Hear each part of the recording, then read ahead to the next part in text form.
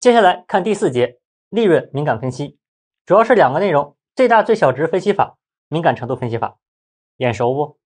在第五章我们项目资本预算的时候做过详细的讲解。第六章期权价值评估呢也有涉猎。这个最大最小值敏感程度分析，当时在第五章主要研究那个是 NPV 净现值，或者是那个内涵报酬率。在这里呢，利润敏感分析，那主要研究肯定是它了，稀释前利润，EBIT。那 EBIT 等于什么？Q 乘以 P 减 V 减 F。那也就是说，其他元素不变，这里面某一个元素，比如说这个单价升高或降低，它怎么跟着变化啊？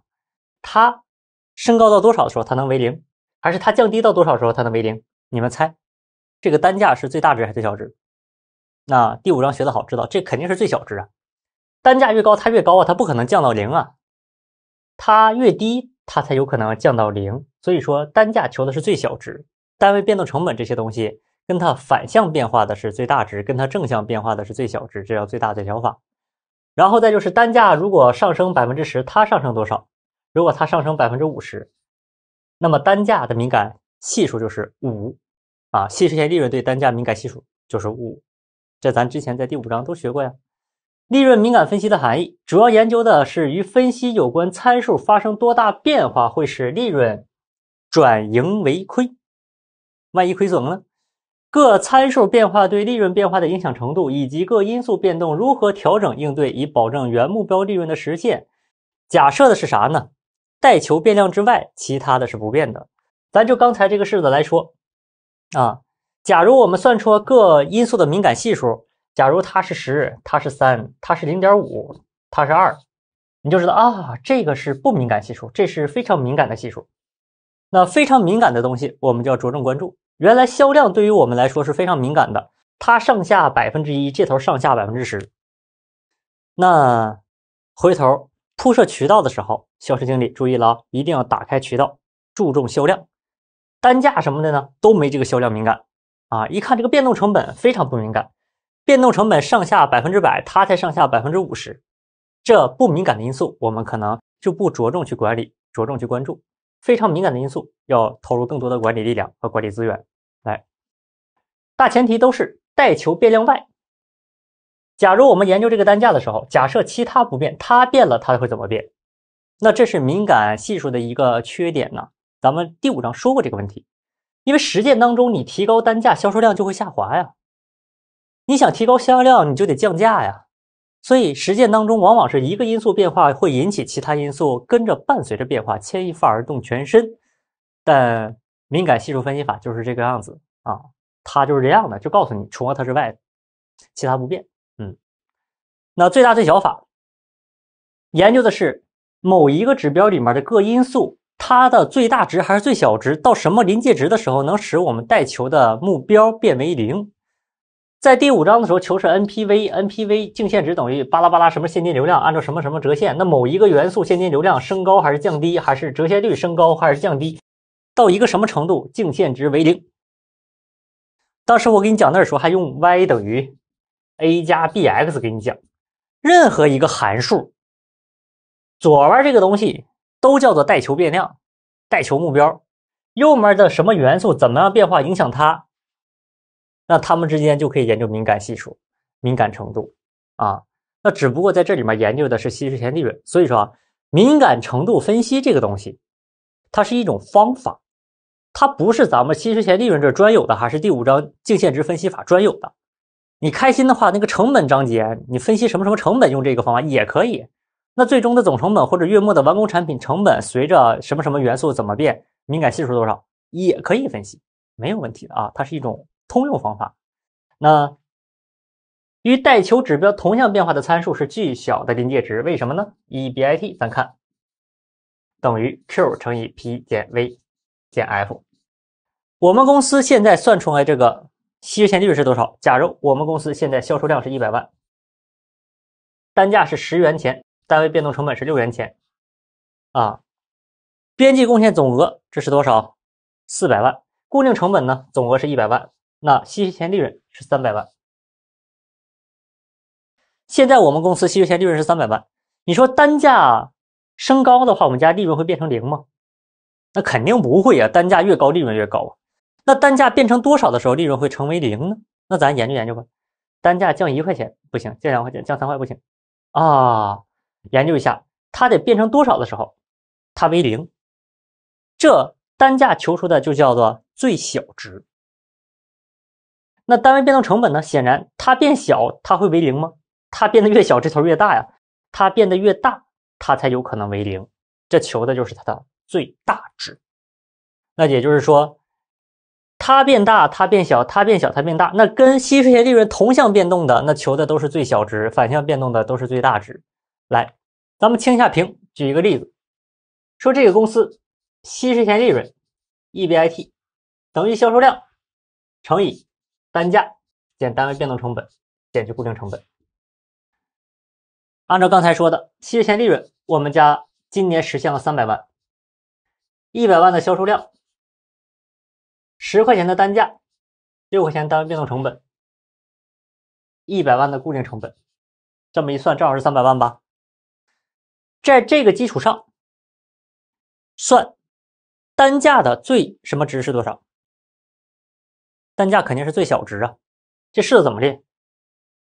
最大最小值法，敏感系数这个方法都是假设一个变，其他不变。假设息税前利润到零。销售量你还是一百万的没变呢，乘以单价是未知数，减去单位变动成本是六，其他都不变，就这么解，解出这个 P 是多少？单价解出来会发现，把一百万挪过去除一百万得一，加上六得七，哎，单价求出来值是七，单价求出的叫做最小值。那我问你，单位变动成本现在求的是最什么值？最。大值，单位变动成本的最大值是多少？还是这么列？稀释前利润零嘛，就是临界点嘛，其他都不变，单价不变十块，就变动成本变，它是未知数，减去一百万 F，把这个 V 解出来，你说是多少？一百万挪过去除一百得一啊，十减一得九呗。V 变动成本的最大值是九，那继续研究。Q 的最大值还最小值是多少？好，稀释前利润等于零，Q 它是未知数了，其他不变，十减去六乘以啊十减六乘以 Q 减去一百万。现在把 Q 解出来，一百万除以四，二十五万。Q 的什么值？最小值是二十五万。那继续，这里面我再问。固定成本的最大值、最小值是多少？零等于一百万乘以十减六减去 F 解 F 等于一百万乘以十减六呗，那这 F 等于四百万呗。好，F 等于四百万。所以此时求出这个 F 是什么？最大值，这叫做最大最小法。啊，因为我们这个稀释利润这个式子非常简单啊，就四个元素乘出第五个嘛，它比那个净现值那块好说多了。净现值那个 NPV 它不是个固定公式啊，净现值后面那个现金流是多少期多少多，它不是个固定公式。像这个是不是很简单？咱顺便啊，把那个敏感系数也给你讲了，就在这道题上，咱说敏感系数。什么叫敏感系数？咱说单价的敏感系数就是这么算。德尔塔 EBIT 比成 EBIT 除以德尔塔 P 比 P，上面这是什么？德尔塔 EBIT 是什么？预期稀释前利润减去基期稀释前利润，预期减基期不是变化量吗？除以基期的，那这不就是变化率吗？分母是预期单价减去基期单价除以基期单价，这叫单价变化率。分子息税前利润变化率是分母单价变化率的多少倍？这个倍数就是敏感系数。那同理，如果分母除的是德尔塔 Q 比 Q，那就是息税前利润对销售量的敏感系数。那如果这块是德尔塔 F 比 F 呢？那就是息税前利润对固定成本的敏感系数。那咱们挨个算一下。你看啊，在这个基础之上，咱们研究研究。你说这个式子当中，期权利润对单价的敏感系数是多少？怎么算？咱看啊，在这个式子当中，稀释前利润变化率是多少？从三百万变成零是变化多少？变化是三百万，但是变化率是多少？预期减基期除以基期，对吧？零减去三百万，这个是不是稀释前利润德尔塔除以三百万？预期减基期除以基期，变化率这是多少？负百分百啊！德尔塔 P 呢？预期是多少？咱算出的是七呀。预期减去基期，基期是十啊，除以基础。预期减基期除以基期，或者是变化之后的减变化之前的除以变化之前的，这是多少啊？负三除以十，上面是负百分之百，下面是负的百分之三十。那你说单价的敏感系数是多少？这么一算是三点三三三三三吧，单价的敏感系数三点三三啊，这不能写等于号啊，不是单价等于三点三三，是单价敏感系数三点三三。那咱下下一个销售量，下一个是销售量吗？不，下一个是变动成本哈。变动成本把这代成德尔塔 V 比 V 呗。好，在这个式子当中，期权利润下降多少？下降百分之百啊，还是负百分之百啊？上面，那你说？变动成本变了多少？变动成本从六变成九，预期减基期除以基期，九减六除以六，对吧？九减六除以六，这是多少？百分之五十吧，正的百分之五十，上面是负的百分之百，负二。所以变动成本的系数，期权利润对变动成本的系数是负二。那再下一个，销售量，德尔塔 EBIT 比 EBIT 除以德尔塔 Q 比 Q 呗。好，那上面还是负百分百啊？这不是稀释前利润下降了百分百吗？那你看它呗，Q 下降了多少？从一百万下降到了二十五万，二十五万是预期数减去基期数除以。基期数，二十五减一百是负七十五，负的百分之七十五，负百分百除以负百分之七十五，嗯，应该是三分之四，一点三三三呗。Q 的敏感系数是一点三三三。最后再算这个 F，我不接呃，直接就不列式了，直接就给你算了。这个稀释前利润肯定是下降百负百分之百，下降百分之百就是负百分之百。那你固定成本呢？从一百万变成了四百万，四百万减一百万，预期减基期是三百万，三百万呢除以基期，除以基期是一百万，最后是三，三百万除以一百是三嘛？好，上面是负百分之百，下面是三，那你这是三分之一等于零点三三，负的，负的啊，分子稀释前利润。变化是负百分之百，分母从一百变成四百，是变化了多少？四百减一百除以一百是三倍，变化了百分之三百。负百分之百除以百分之三百，负的三分之一，负的零点三三啊。那我们现在呢？根据这一个例子，我把你最大最小值法也给你讲完了，敏感系数其实也给你讲完了。你可以发现啊，这里面最大值的数求出的敏感系数都是负数。最小值的数求出的那个敏感系数都是正数啊，同向变化的敏感系数是正数，求出的都叫最小值；反向变化求出的都是负数，求出的都是最大值。再说什么叫做敏感，什么叫不敏感？当敏感系数大于一的就叫敏感因素，越大绝对值越大越敏感。像这个三点三三是这里面最敏感的。小于一的绝对值小于一的，像这个是不敏感因素，负零点三三。什么叫敏感？它有一个微小的变动，稀释前利润就会有个较大的变动啊。它们俩变动关系是三点三三倍之间的关系。你看，它有一个微小的变动，它就会有较大的变动，这有个杠杆的概念。而固定成本扩大了三倍了，你看从一百万变成四百万，多扩大三倍，相当于变成原来的四倍，期权利润才会降到零啊，所以说就属于不敏感因素。那么咱再说，这里面有一个比较特殊的德尔塔 Q 这个情况，德尔塔 EBIT 比上 EBIT 除以德尔塔 Q 比 Q，那这是啥呀？这不就是咱们第八章资本结构里面学的那个经营杠杆系数吗？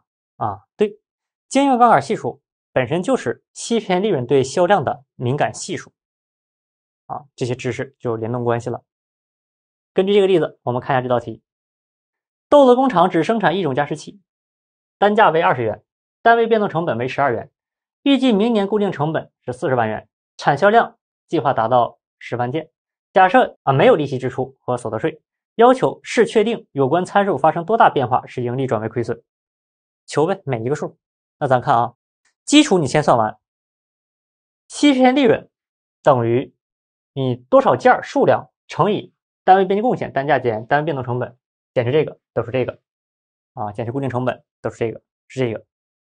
那咱们先别看这个答案，我带着你再算一遍。刚才的例子算完，带这个例子再算一遍。好，基本式子拍在这儿。嗯，稀释线利润等于 Q 乘以 P 减 V 减 F。Q 是多少？十万件，十万乘以。单价二十，减去单位变动成本十二，固定成本四十万，这是多少？十万乘以八，八万，八十万，八十万减四十万等于四十万。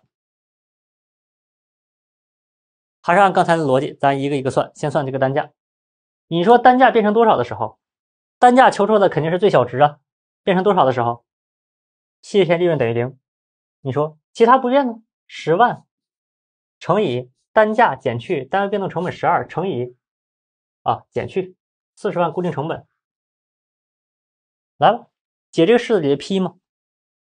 四十万挪过去除以十是四，四加十二是十六，所以说单价得出这个值是十六。你说它是最大值最小值？最小值啊，二十降到十六的时候，息税前利润为零，最小值，这是单价。单位变动成本呢？零等于。十万乘以二十减去 v 减四十万，来算一遍，四十挪过去，四十除以十，四，二十减四十六，v 也是十六。变动成本求出的是什么？最大值啊！从十二变成十六的时候，稀释前利润为零，求出最大值。那咱们再研究 q，零等于 q 乘以二十减十二减去四十。八乘以 q 等于四十，四十除以 q，四十除以八，五啊，q 呢直接变成五万，对吧？q 变成五万是最大值最小值，从十万变五万是最小值，同样变动的都是最小值吗？那最后这个 f 固定成本零等于呃十万乘以二十减十二减去 f。f 等于十万乘以二十减十二，那就是 f 等于八十万呗。你说它是最大值最小值？那显然是最大值嘛。四十万涨到八十万，最大值。那咱们全求出来了。然后就这个题，咱再研究一下敏感系数啊。你说这个 P 的敏感系数，咱说德尔塔 EBIT 比上 EBIT 比上德尔塔 P。比 P 就是 P 的敏感系数，要是比上德尔塔 Q 比 Q，就是稀释线利润对销量的敏感系数，它也是经营杠杆系数。然后还有德尔塔 V 比 V，还有德尔塔 F 比 F 啊，求这四个呗。不管是求哪一个，按照这个假设来说，这都是稀释线利润下降百分百呀，所以分子都是负百分百嘛，求分母嘛，来。你说德尔塔 P 比 P 是多少？它变了多少？十六减二十除以二十，十六减二十除以二十是多少？负的。十六减二十是负四，除以二十，嗯，负百分之二十。所以 P 的敏感系数是五啊，它俩一除，负号消掉是五。销售量我这么写是方便啊，都在这里边除了，就都是负百分之百除以什么？销售量呢？从十万变成五万，预期减基期五万减十万除以十万，五万减十万是负五万除以十万是负百分之五十，负百分之百除以负百分之五十，Q 是多少？负百分之百除以负百分之五十是二，Q 的敏感系数是二。德尔塔 V 这个从十二变成十六。十六预期减基期，十六减十二除以十二，四除以十二，三分之一啊，四除以十二是三分之一。哎，预期减基期，负百分之百除以三分之一，那是三呢，因为它是负的嘛，下面是正的，所以是负三呢。V 的敏感系数是负三。最后这个 F 从。四十万变成了八十万，预期减基期除以基期，变化了百分之百。上面负百分之百除以正百分之百，得出是多少？是负一。F 的敏感系数是负一。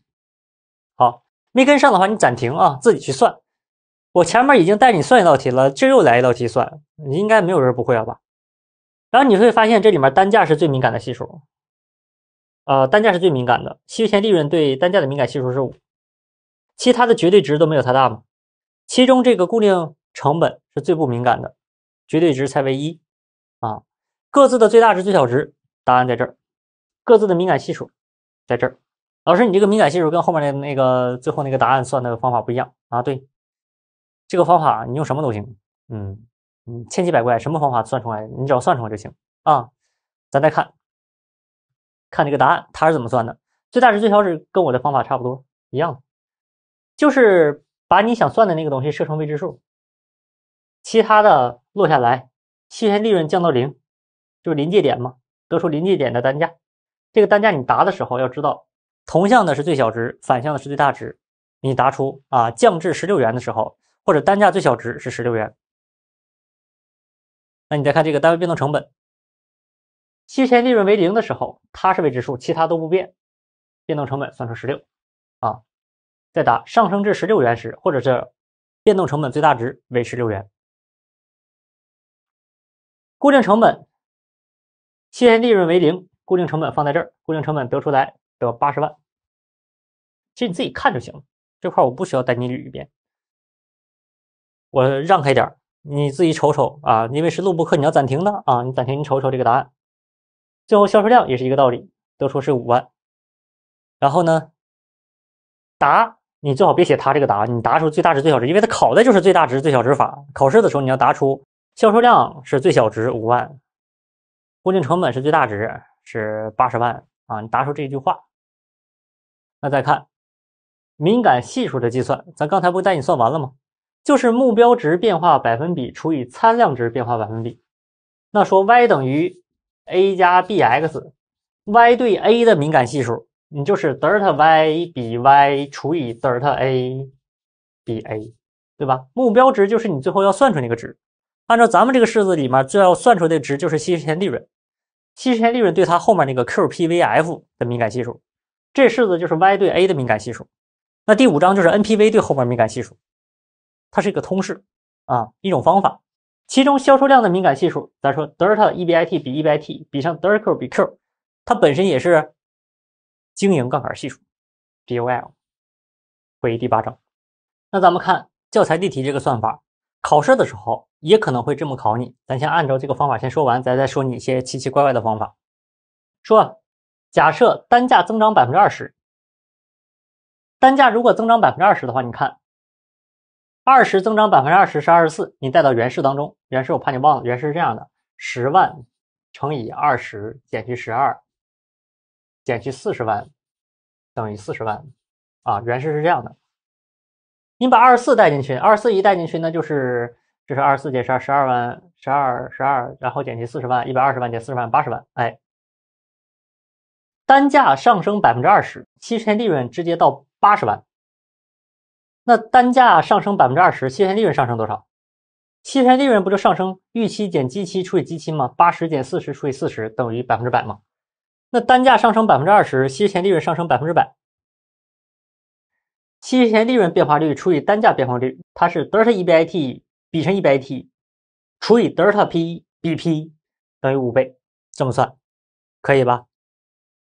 单价对利润影响很大，利润以五倍的速率随单价变化，提价似乎是似乎是提高盈利的最有效手段，价格下跌也将是企业的最大威胁。经营者应根据敏感系数知道啊，降价每降百分之一，企业将失去百分之五的利润；每提高百分之十的价格，期权利润将上涨百分之五十。那么对价格要予以额外的关注。那你看，他算出是五，那我刚才用我的方法算不也是五吗？咱们前面这个方法来，不也算出是五吗？有什么区别？它假设是上升百分之二十嘛？你不信你换一个，你下假设上升百分之十，你怎么算？也是五。你假设上升百分之五，也是五，都一样嘛？假设多少都行啊。这是一种正常的方法。还有一些奇奇怪怪的方法呢？是什么呢？奇奇怪怪的方法有的是用那个销售收入总额除以期权利润，也能得出来这个五啊。二十乘以十万嘛，二十乘以十万是多少？二百万。二百万除以四十万等于五，对吧？二百万除以四十万，这个方法也能做出来。但这个方法我没教你啊，我没给你写在讲义里面。原因就是啥呢？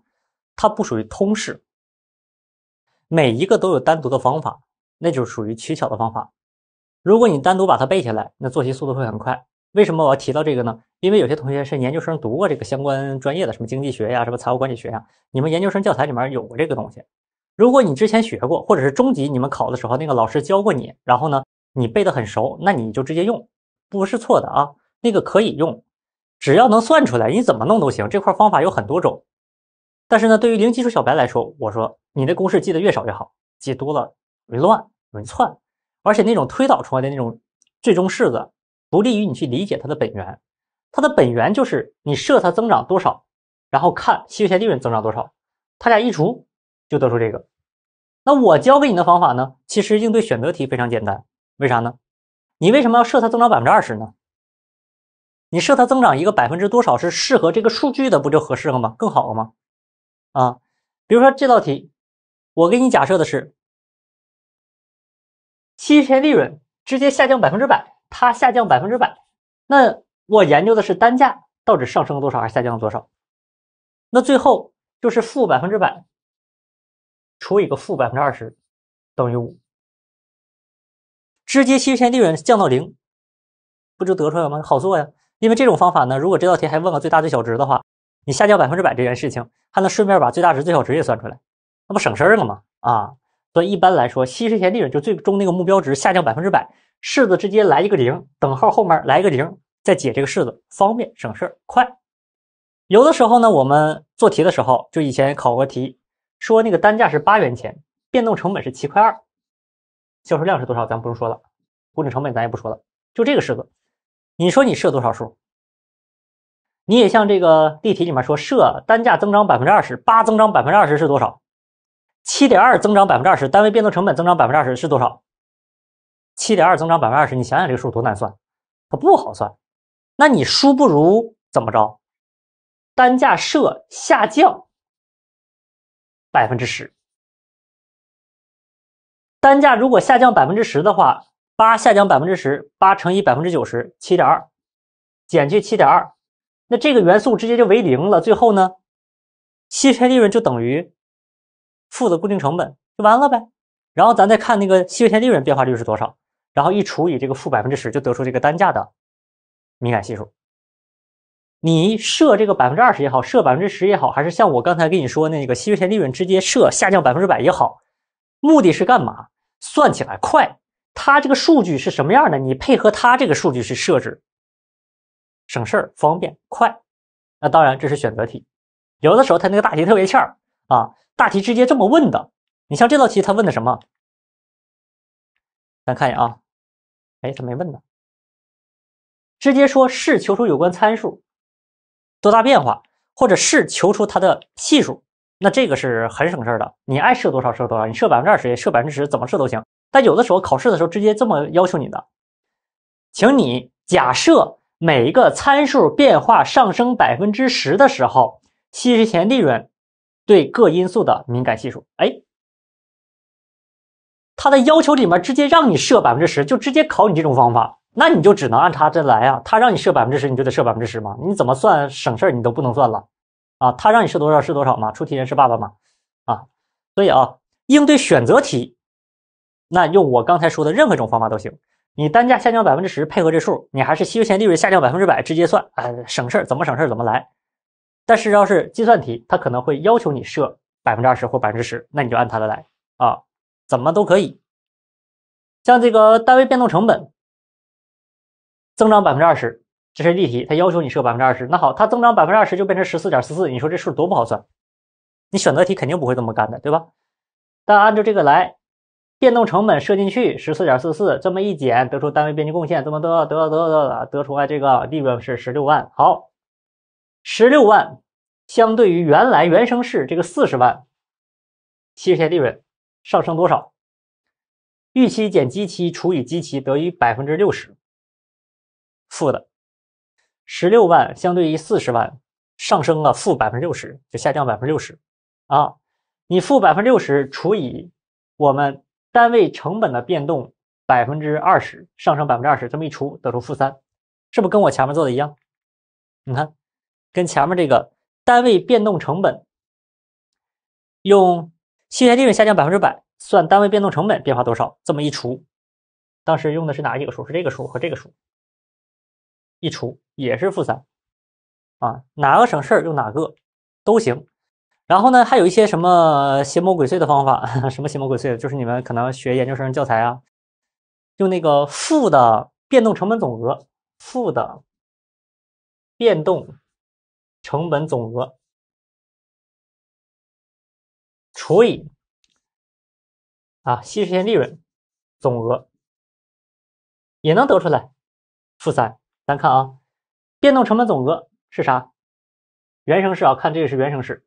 负十二万，负一百二十万，负十二乘以十万嘛，负一百二十万，负一百二十万除以四十万得出负三，负一百二十万除以四十万等于负三，也能得出来啊。但这个是特殊公式，你如果是这么记的话，你会发现你的敏感系数学起来它就不是一个通用式了，你就会记出很多这种零散的公式啊。我没教你啊，讲义没放。只是提醒你，有些同学在上大学的时候学过这种公式，你如果背得非常熟，你就用你大学那公式没有问题，提高做题速度，因为你背过。但是如果你是零基础小白，你没背过，你就别用这种散式的，记公式太多容易乱。看单位变动成本对利润的影响比单价要小，单位变动成本每上升百分之一，利润都相当于要下降百分之三。但是呢，敏感系数绝对值是大于一的，说明变动成本的变化会使利润有个更大的变化，它也是个敏感因素。经理人也应当予以关注啊，比较敏感，只是没有单价那么的敏感。那么根据这两个，我们得出一个结论，就是同向变化的参数为正数，反向变化的参数系数算出来是负数。只要这个系数绝对值大一，它就是敏感因素；小一就是非敏感因素。好，固定成本这个敏感程度，固定成本上升百分之二十，还按照它这个方法一贯下来，那就是四十八万，把四十八万带进去。稀释前利润算出来是这个三十二万，好，相对于四十万下降了多少？预期减基期除以基期得出负百分之二十啊，固定成本上升百分之二十，稀释前利润下降百分之二十，它一除是负一呀，啊，所以说固定成本上升百分之一，利润下下降百分之一，销售量的敏感系数还是销售量上升百分之二十变成十二万，十二万带进去一乘，稀释前利润变成五十六万，预期减基期除以基期。啊，它是散开写的，你最好是脑子里装这个式子。它同时也是经营杠杆系数的原生式嘛？BQ 对，德尔 Q 比 Q，对吧？这个求出百分之四十，上面是百分之四十，下面是你设的嘛？百分之二十，这么一除是二。就本地而言，影响利润的诸因素中，敏感顺序分别是单价、单位变动成本。再次是销量，最后是固定成本。它不是按照数字的大小排的，它是按照绝对值大小排的。单价是五，它是三绝对值，它是二，它绝对值是一啊。那么五三二一，敏感系数按绝对值大小往下排，哪个是敏感因素越大，绝对值越大，敏感性越强。那按照这道题，它又画成一个表，这个表呢，对于考试来说不是那么的重要啊，是方便你理解的。说各个项目的变化率。单价、单位变动成本、固定成本、销量，单价变动百分之十的时候，你看这里面数代表的是稀释前利润，稀释前利润会变成二十万或者是六十万，这是上升百分之十，下降百分之十。上升到百分之二十的时候，假如看这行，固定成本上升百分之二十的时候，稀释前利润会变成三十二万；下降百分之二十的时候，稀释前利润会变成四十八万啊。然后比如销量呢？销量上升百分之二十的时候，稀释前利润会变成五十六万；下降百分之二十的时候，稀释前利润会变成二十四万。嗯，然后紧接着呢，教材把这张表又给你变成一张图啊。老师，这个图好乱啊，就是一听啊，考试的时候这个表不是很好考，这个图也不是很好考。咱看啊，这个图是啥意思呢？啊，他想画成个三维图，但是二维平面展示三维图它不好展示，他就弄成个这么个玩意儿，来。横轴表示某一个元素它变化率是多少，往左是往小了变，往右是往大了变啊。这条线呢就是单价的变化情况，单价变化之后，纵轴呢代表着是利润变化的情况。好，假如单价不变，那利润原封不动在原地，这是原点。甚至这个图连原点都不好找，你这这这是原点，这是原点啊。咱看它。假设单价、单位变动成本还有什么销量、固定成本，它们都不变，那咱们稀释前利润求出是四十万嘛？那变了呢？变化百分之二十，咱刚才求出来了，单价变化百分之二十，稀释前利润会变成八十万；销量增长百分之二十会变成五十六万；固定成本变成百分之二十会变成三十二万；单位变动成本上升百分之二十，稀释前利润会下降到十六万，变成十六万，对吧？它就画成这么一张图。那同样，它反过来说，如果单价、单位变动成本什么的下降百分之二十，稀释前利润是多少？多少？吨吨吨吨，它没写数啊。那这条线就代表着什么呢？当单价有不同的变化情况的时候，它对应的稀释前利润是多少？咱假如说这个点，可能对应的是单价变化百分之十二，单价变化百分之十二的时候来找，哎，利润变化百分之多少？变化可能百分之五六十，咱不知道。这块没写，我只是举个例子。往右找是找到切片利润变化到多少元，可能是六十多万、七十多万，不知道。就这么一张图啊，显示的是什么呢？利润和各参数变化的关系。因为单价它这个敏感系数最高，所以说这条线跟这条边的夹角越小。就有这么一句话啊，就记住这句话就行了。这个图应该不会太考太细。这些直线与利润线的夹角，利润线是中间这个纵轴，夹角越小，对利润的敏感程度越高。嗯，这些线跟利润的夹角越小，你看啊，假如找一条线画横的，这夹角最大了吧，直角的，那不就相当于当这个因素参量变化百分之多少的时候，利润都没有变。这上下是变吗？这变百分之五十，变百分之百，它随着增加百分之十、百分之二十、百分之百，利润都不变啊，那这就是不敏感因素嘛？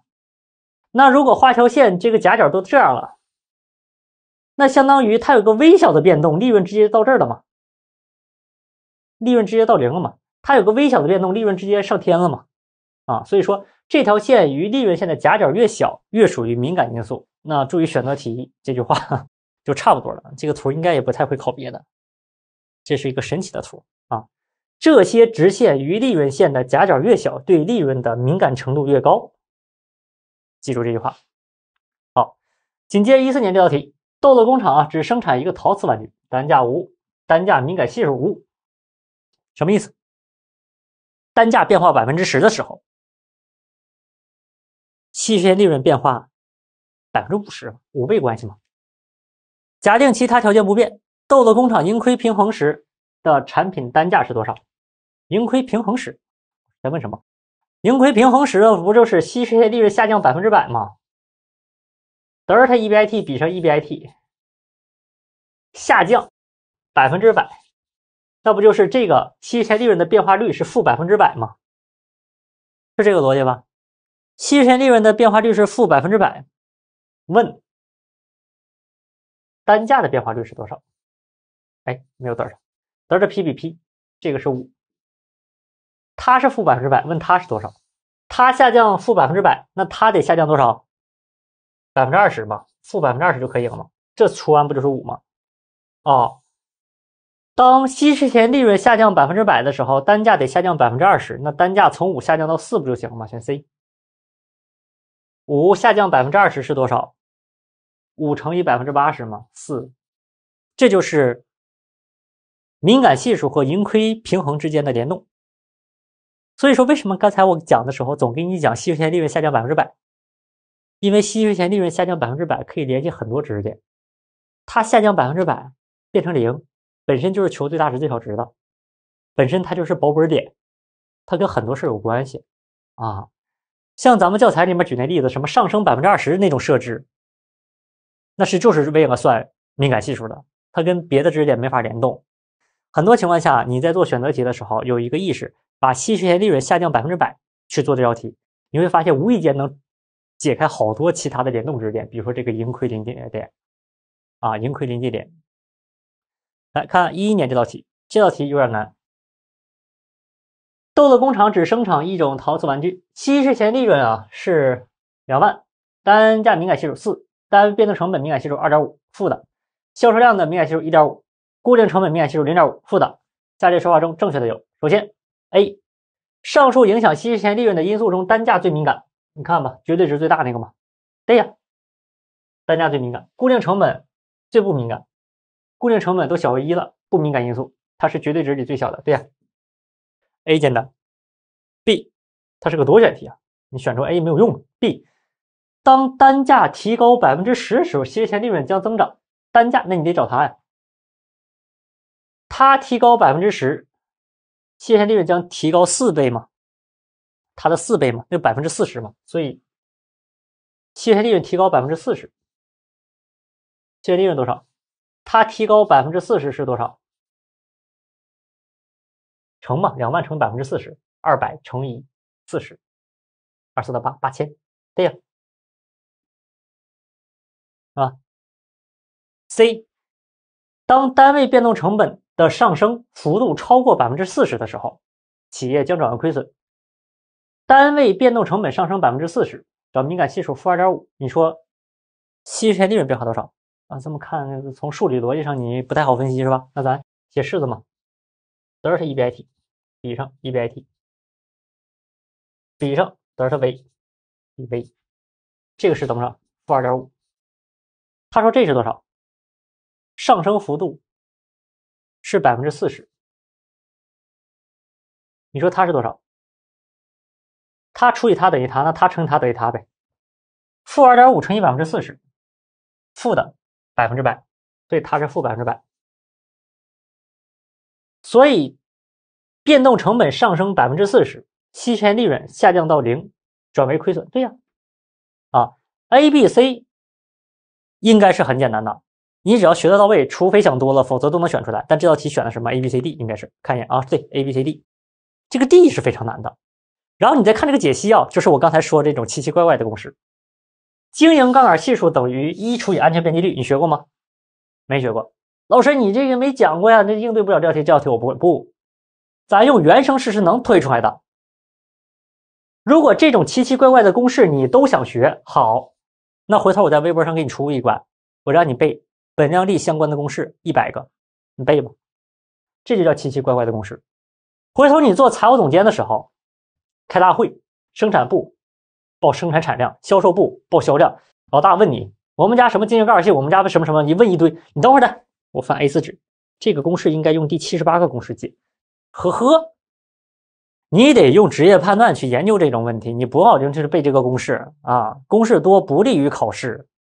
而且不利于回头你塑造自己的黄金身价啊！我讲课从来都是能不背公式尽量不背公式啊！你要是想查这什么本量利益公式大全，你自己百度一搜一堆，很多老师在这块给你列了四五十个，他列四五十个的其实都不全，也是他那个精心筛选过的，你可以弄出一百多个来说这个安全边际率，问到百分之六十六点六七，这是什么？跟系数有关系吗？安全边际率，你能联想到的我们的最直接的知识点是什么？那不就是那个图吗？对吧？安全边际率的图，看啊，既然他说百分之六十六点六七，你说这个图咋画？嗯，是不是这是收入？这是总成本线。他说安全边际率是百分之六十六十七，那这是二，这是一，整体是三呗，对吧？整体这是销售收入是三，这是二，这是一，这安全边际不就是三分之二吗？百分之六十六点六七吗？你先把这个图按它这个画完之后分析，这里面是不是这样？你会发现跟这有关系的，要么是销售量的事儿，要么是左面这部分固定成本的事儿吧。咱可以通过这个数分析，也可以通过这个数分析。啊，咱先说固定成本是负零点五，你在这里面能不能找着一些变化的关系？咱看啊。固定成本的敏感系数是负零点五，意思是什么？德尔塔 EBIT 比上 EBIT 比上德尔塔 F，BF 等于负的二分之一，对吧？或者是负的百分之五十，对吧？那意味着什么？固定成本增加多少的时候，稀释前利润会下降到零？固定成本每增加百分之十，稀释前利润下降多少？下降百分之五吧。说变化率是百分之五十吗？来，它每增加百分之十，它下降百分之二十，呃，百分之五，对吧？这样的话才能算出这个负百分之五十出来这不负百分之五吗？这不百分之十吗？这么一算，负百分之五十，对不对？固定成本增加多少的时候，稀释前利润会下降零？增加到百分之二百的时候吧，期权利润会下降到负百分之一百。来看，固定成本增加百分之二百的时候，稀释前利润会下降负百分之百，这才求完是负百分之五十吧？才是负零点五吧？那固定成本增加百分之二百这一部分，是不是边际贡献恰巧满足固定成本？这一部分的边际贡献提供了利润，对吧？才叫安全边际嘛。假如固定成本增加百分之二百，等等，正好利润是不是都没了？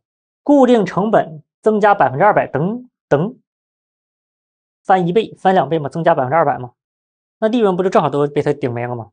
最后边际贡献全满足固定成本去了。那你说这个图合理不？